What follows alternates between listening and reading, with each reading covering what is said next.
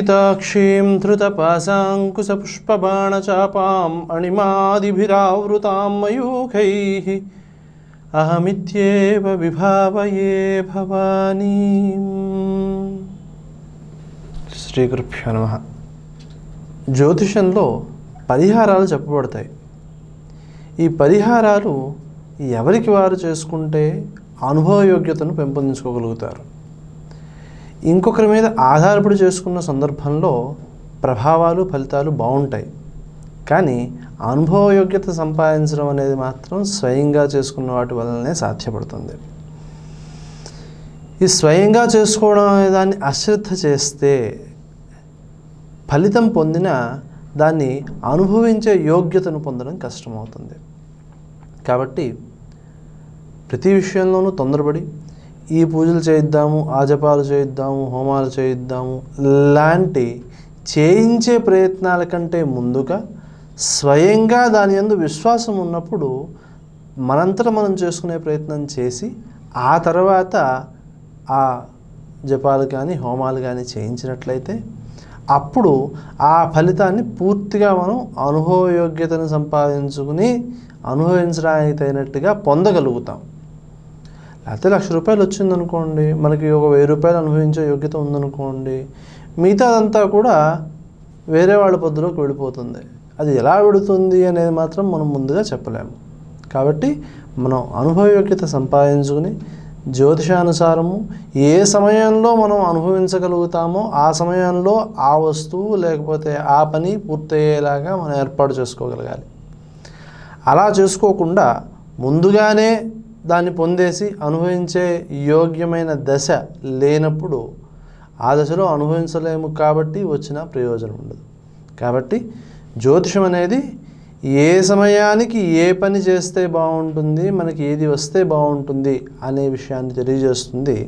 దానికి తగినట్టుగా ఇటు ఆధ్యాత్మిక ప్రయత్నాలు కానివ్వండి అటు భౌతిక ప్రయత్నాలు కానివ్వండి చేస్తూ ఉన్నట్లయితే అది నిజంగా మన జీవితంలో మనకు కావాల్సిన దాన్ని పొంది సంతృప్తి పడడానికి ఉపయోగపడుతుంది.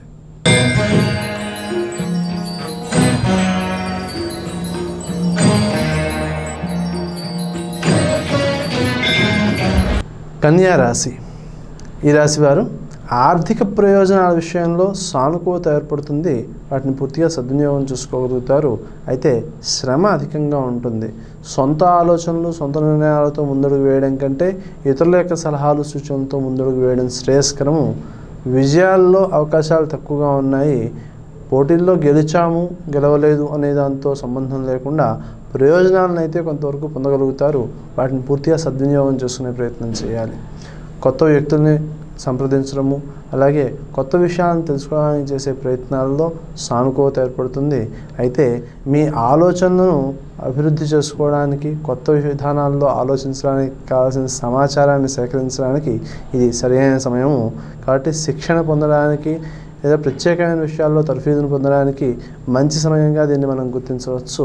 ఆ ప్రయత్నాలు ఎక్కువగా చేయడము అలాగే ఉద్యోగపరమైన శిక్షణ కోసం ప్రయత్నం చేసేవారికి సానుకూలమైన పరిస్థితులు ఏర్పడతాయి. వాటిని పూర్తిగా సద్వినియోగం చేసుకోగలుగుతారు. శ్రీ హయగ్రీవాయ నమః అనే మంత్రం చేసుకోవడం ద్వారా అనుకూలమైన ఫలితాలను పొందడం సులభం అవుతుంది విద్య విషయంలో విద్యార్థులు ఎక్కువ శ్రద్ధను చూపించవలసిన అవసరం ఏర్పడుతోంది. ఆహార వ్యవహారాల్లో నియమాలను సమయపాలను ఖచ్చితంగా అనుసరించి తీరాలి. విద్యార్థుల ఆరోగ్య విషయంలో అశ్రద్ధ చేయడానికి అవకాశం లేదు. దానివలన పరిస్థితుల్లో కొంత ప్రతికూలతలు ఏర్పడే అవకాశం ఉంటుంది. జాగ్రత్త పడవలసిన అవసరం ఉంటుంది. ఆరోగ్య విషయంలో సానుకూలత పొందడానికి క్రీం అచ్యుతానంత గోవింద అనే మంత్రం చూసుకోవడం మంచి ఫలితాన్ని ఇస్తుంది. మీ తల్లి తత్సమానులైన వారి యొక్క ఆరోగ్య విషయాల్లోనూ లేదా వారి నిత్య జీవనం విషయంలో మీరు అందించవలసిన సహకారాన్ని పూర్తిగా అందించే ప్రయత్నం చేయాలి. తత్సమానులైన వారి విషయంలో కూడా ఈ జాగ్రత్తలు తీసుకోవాల్సిన అవసరం ఎక్కువగా ఉంటుంది. ఆరోగ్య విషయంలో అనుకూలత కోసం క్రీమ్ అచ్యుతాంత గోవింద అనే మంత్రం బాగా ఉపయోగపడుతుంది. విహారయాత్రలు చేయడానికి ప్రయత్నం చేసేవారు. సానుకూలమైన ఫలితాన్ని పొందినప్పటికీ ఖర్చు ఎక్కువగా ఉంటుంది. శ్రమ అధికంగా ఉన్నందువలన పూర్తి సంతృప్తిని పొందడం కష్టమవుతుంది. ప్రయాణాలలో ఆటంకాలు ఏర్పడకుండా జాగ్రత్తలు ఎక్కువ తీసుకోవడం మంచిది.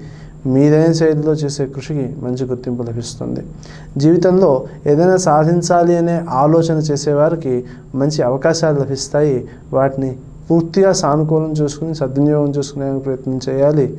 ఆ విషయంలో గురువుల యొక్క సలహాలు సహకారాలు బాగా ఉపయోగపడేవిగా ఉంటాయి.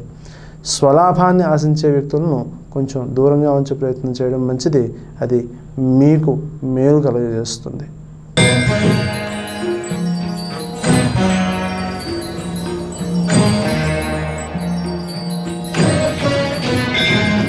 పంచాంగాన్ని అనుసరించి ఈ వారంలో ఉన్న విశేషమైన కార్యక్రమాలు పరిశీలిద్దాం. ఇరవై ఆరవ తారీఖు. ఈ రోజున అనధ్యయనం. అంటే అష్టమి తిథి కావడం చేత వేద విద్యను అనుసరించడానికి అనధ్యయనము అని చెబుతారు.